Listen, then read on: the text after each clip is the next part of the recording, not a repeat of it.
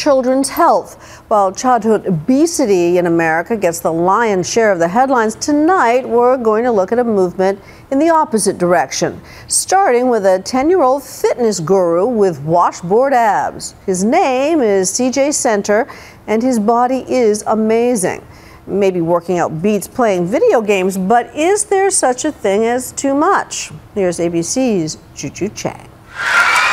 Who, other than Justin Bieber, perhaps, could get this kind of rock star welcome from the grade school set? Hi, let's give him a big hand! It's a surprise appearance by their pint sized celebrity trainer. Just 10 years old, that's right, just 10, CJ has motivated the 450 students at Heard Mixon Elementary School to get on their feet.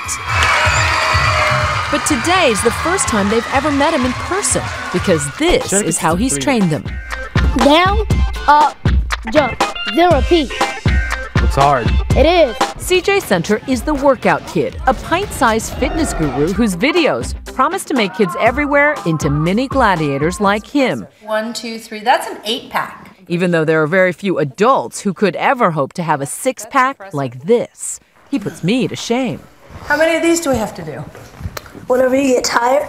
Okay, I'm tired now. He's been on the fitness kick for half his life. He started at age five. CJ's parents say his self discipline extends to his diet. So, do you eat candy? Well, I eat candy, but I don't eat a lot. So, a little, little bit, not a lot? Yes. What about junk food? Mm-mm, I like eating fruits and vegetables. Hey, how's my core? CJ isn't the only kid fixated on getting lean and mean. While there's legitimate worry about obesity in American kids, there's also concern now about kids training and dieting like Olympic athletes. In my practice now, I've seen a doubling of injuries to young kids aged 10 or 9 or 8 with overuse injuries because they're doing more now. Dr. Gottland says a lot of this is due to the hours of practice for organized sports. But maybe it's also because all their heroes now look like CJ. I do it once a day.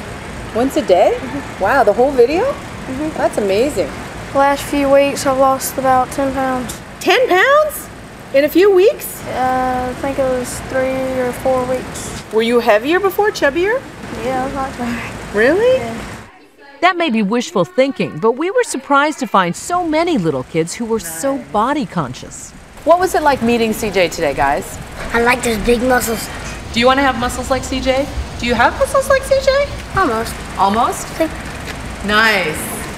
Up, down. Every doctor we spoke with about CJ agrees. What he's doing is better than playing video games four hours a day. But they also say whether it's the pressure of Little League or martial arts or just trying to get buff, Pee Wee competitors can dangerously overdo it.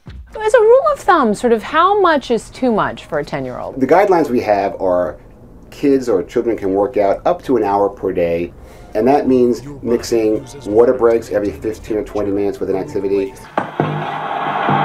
For extreme mini athletes, physical damage can be layered with emotional harm.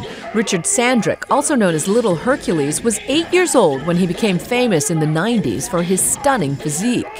His appearance prompted claims that his parents were putting on an excessive diet and exercise program and exploiting him.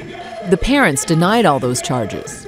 In this case, with CJ, hopefully, this is all the right reasons and we're seeing the positive results. Some people think he's too young to be that ripped or to have that many, mm-hmm. you know, six pack abs? I would honestly just say that it, it wasn't anything that he set out to do on purpose. Um, just with exercising and really just normal play for a child, he developed the physique. So you're not forcing him to do push ups? Not at all. CJ did it the old fashioned way with calisthenics, no weightlifting. I just want to get my message out to uh, kids so they can get on their feet and have fun and learn new exercises. CJ's parents say they've sold or donated several thousand DVDs. They claim they aren't in this for the money. Thank you. You're welcome.